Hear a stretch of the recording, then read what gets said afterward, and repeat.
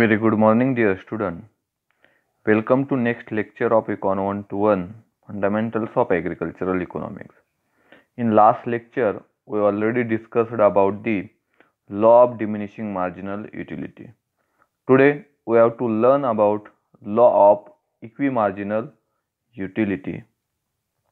So, in that, we have to see the meaning of law of equimarginal returns, who gave this law of equimarginal return then statement of the law, assumptions of the law, then explanation of law with the example, then practical importance and limitations of the law. So, firstly, this law is known as the law of substitution. This law is known as the law of substitution or principle of proportionality. So, always keep in mind these are the two names of law of equimarginal returns and this law also known as the Gossen's second law. Which was the Gossen's first law? Law of diminishing marginal utility. It was the Gossen's first law and law of equimarginal utility. It was the Gossen's second law. Okay. And law of equimarginal utility is also known as the law of substitution and principle of proportionality. Now, the statement of the law as like the statement of diminishing marginal utility, statement of law of equimarginal utility is also given by Alfred Marshall. Now, according to Marshall, the law implies that means according to Alfred Marshall, the law implies that or shows that if a person has a thing which he can put to several uses means if that person particular have any commodity or a thing he can use that particular thing for the several uses. He will be distribute it between those uses means he will distribute that thing between different uses or those uses in a such a way that it has a same marginal utility in all. Means he will distribute that thing between different uses in a such a way that from which he will get the same utility in the all parts of that commodity or good. So, that is the statement given by Alfred Marshall. So, as we know the consumers generally having the problem of the goods having the problem while buying the goods and services because he has a limited source of income because he has a limited income. Because our human wants are unlimited and means to fulfill it they are the limited. So he, he left with the choice making means that consumer he has to make a choice regarding the purchase of commodities their quantities so that the purchase that are decided upon the ensure him maximum satisfaction. Okay in general life if you think about the any consumer he always try to get maximum satisfaction whatever he is purchasing with his limited amount of income. Then the consumer aim, aims at maximizing the total utility by consuming possible goods and services in a given income constraint or in a given level of income. Now in this process, the consumer substitutes the goods having greater utility for which have a lesser utility. Now, suppose if we have a choice, suppose if we have two, three choice, which good we will purchase or which good we will choose the goods which having the higher utility. Now, this process is continued till the marginal utilities of commodities purchased are equalized means we purchase up to the, that level till the marginal utilities means additional utilities from the purchase of all the units of goods it will be equalized or it will be same for all hence the name law of equimarginal utility is given. So this is about the statement of the law of equimarginal utility. Now as we know for every law there are assumptions similarly here are also some assumptions for the law of equimarginal utility.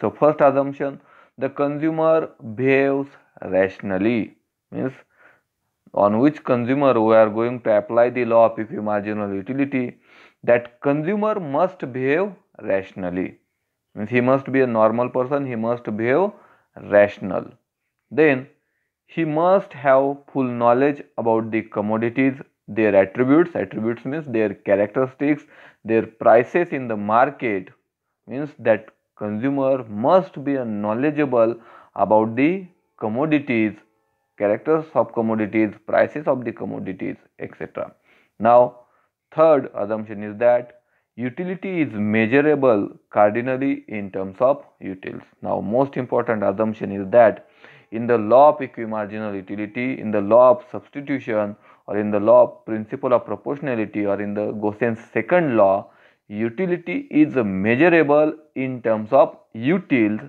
So, here util is the unit of utility.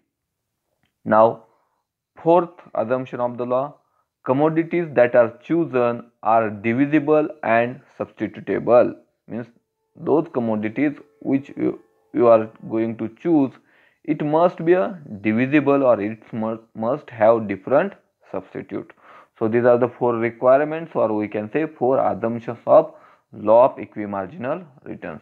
Now, while explaining this law, we have to take the imaginary example of a consumer who is uh, having the income constraint, who is having the limited income and he has to make a decision in the purchase of the allocations in the purchase of commodities. So, he can allot his income in a such a way that he will get the maximum satisfaction. Suppose let us assume that consumer has got only 25 rupees to spend but from that limited limited income he has to spend that 25 rupees on the three vegetables suppose he has to purchase potato tomato and Ridge Gourd now suppose he has to purchase the three vegetables from the 25 rupees.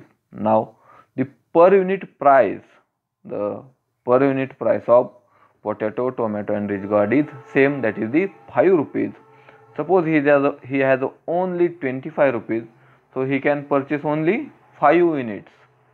How many units he can purchase? He can purchase only 5 units because he, he has a 25 rupees only and per unit price is 5 rupees. Now, the marginal utilities that derived from the consumption of potato, tomato, Ridge Gourd and money spent they are presented in given table. Now, if you see the table, here are the 5 number of units because he can purchase only 5 because it has the price of 5 rupees each and he has limited money that is the 25 rupees. Now, potato, tomato and Ridge Gourd. The marginal utility derived from potato is 19, 16, 14, 10, 5. From tomato is 22, 21, 20, 16, 14 and Ridge Gourd is 18, 17, 15, 12 and 11. So these are the marginal utilities in terms of utils. Now suppose how rational consumer will behave, he will choose the such commodities or such a combination or such a unit of commodities from which he will get the maximum satisfaction. So firstly we have to choose the maximum values, maximum utils from the potato that is 19, from the tomato which are the 22, 21 and 20 and from the Ridge Gourd that is the 18. Because we have to choose the combination of three vegetables so obviously that rational consumer he will choose the maximum values only or maximum utils only because that is the ultimate aim of every consumer. From his limited income he always try to get maximum satisfaction or maximum utils or maximum utility. Now the marginal utilities are derived from the consumption of three vegetables by spending unit money. Each unit of money is equal to rupees 5 as we earlier know that First unit of 5 goes on potato, it gives the marginal utility of 19 because in the potato column if you see the 19 is the maximum. Second unit 16 third 14 and so on. Now to maximize the satisfaction from the three vegetables, the consumer has to spend 25 rupees on the 5 units, 5 units of commodity. So he, will spend in a such a way that marginal utility of last unit of money is will equal in all uses. Now given the marginal utilities derived from three vegetables, the consumer has to spend first 3 units on tomato, 1 unit of each on potato and ridge gourd respectively. Now, why he will choose the 3 units of tomato? Because from the 3 units of tomato he will get the maximum utils. That's why he will choose the first 3 units of tomato. Then highest unit from potato that is the 19 and highest unit from ridge gourd that is the 18 because he has to choose the combination of 3 vegetables that's why he will choose each one means one unit from potato and one unit from ridge gourd respectively. Now if you make the summation of all the three combinations you will get the combination of 100 utils. If you make the summation of 22 plus 21 plus 20 plus 19 plus 18 it will be 100. No another combination will yield more than 100 utils or more than this combination okay so diagrammatically it is represented at tomato potato and ridge gourd. So at the end the marginal utility for the all the units of commodity is equal. That is the law of equimarginal utility. Here units of money on the x axis and marginal utility on the y axis now the combination is going to hold good till some changes occur either in the prices or his income or his statements. This combination will be going to good or it will be satisfactory to the consumer till there will be no change in price or no change in his income or taste.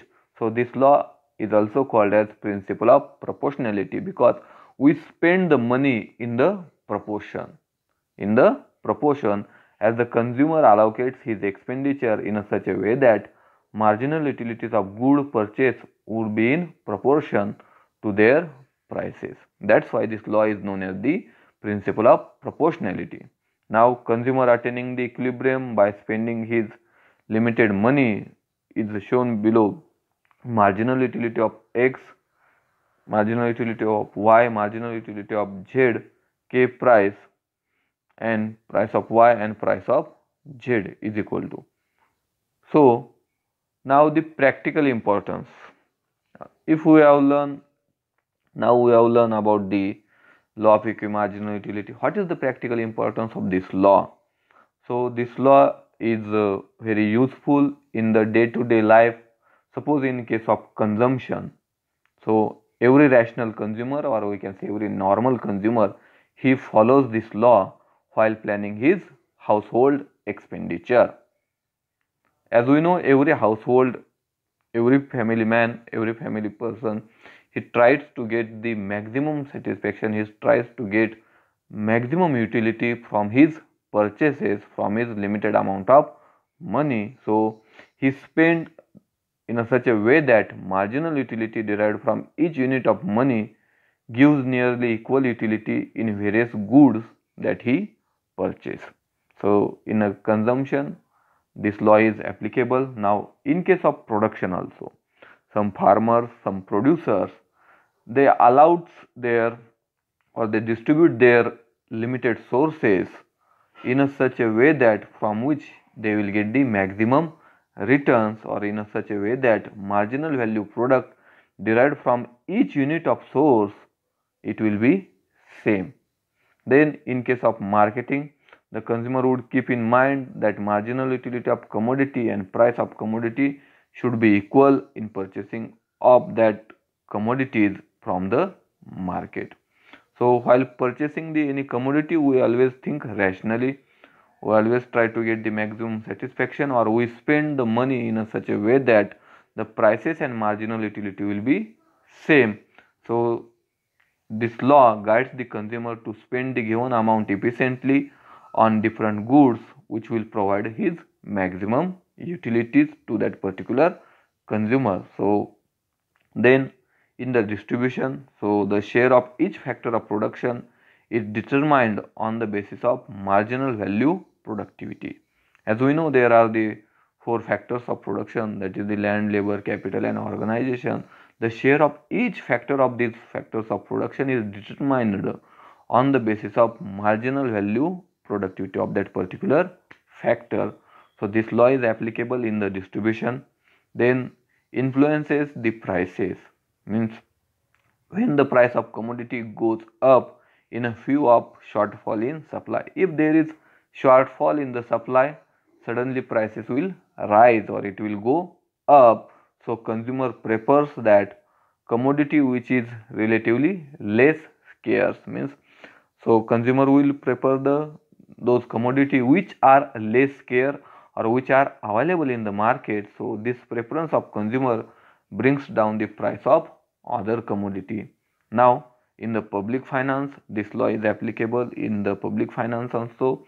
The government is guided by this law in the public expenditure or by spending the money on the public infrastructures this law is applicable. So this is about the practical importance of law of equimarginal utility. Now the limitations. While thinking about limitations, you always keep in mind whatever is assumed whatever is assumed or which are the assumptions just write opposite to that assumption that will be the limitations of law now in case of limitation Uh, it needs very careful scrutiny by the consumer regarding prices of various commodities and their substitute. As we know in the assumption we assume that that customer or that consumer must have a full knowledge about the attributes prices of the commodities. Means that is the requirement. Means that consumer must they must need very clear knowledge about that commodity. It is also the limitation more often expenditure pattern is influenced by the habits except except in the case of very high price good for which certain amount of thinking goes before taking buying a decisions as we know. For normal person for most of the person their expenditure pattern is depend on their habits their choices and according to the fashion according to the tradition also. So in such cases this law is not applicable. Another limitation of the operation of this law is indivisibility of certain goods which would not permit the equalization of marginal utility so there are some goods which are not divisible. That's why this law is not applicable on the goods which are not divisible. Then further, it is possible that buying decisions are influenced by the advertisement in which case rationality creation may not be followed. As we know, in recent days, advertisement plays a very vital role. Because of advertisement, the sellers they are getting more number of consumers. So in that case, this law is not applicable. Now, the cardinal approach of Marshall has been criticized by modern economists. So, this is the cardinal approach which was criticized and it was question questionized by the modern economist. So, utility being psychological phenomenon means utility is not a actual phenomenon, it is totally the psychological phenomenon. It is not amenable to measurement by numbers and weights etc means we cannot measure the utility in the numbers or in the cardinally. So the marginal utility of money is taken to be constant by marshall which is not common experience of the consumer. The marginal utility of money would be more when he left with less and less money. As we know if we having very less money we have more value of that money. If we have too much amount of money if we have large amount of money we have a less value of that money. That is the marginal utility of money. So marshall alfred marshall he thinks that the marginal utility of money is constant. That is not practically possible. Another shortcoming is that it does not help to separate the income and substitution effect.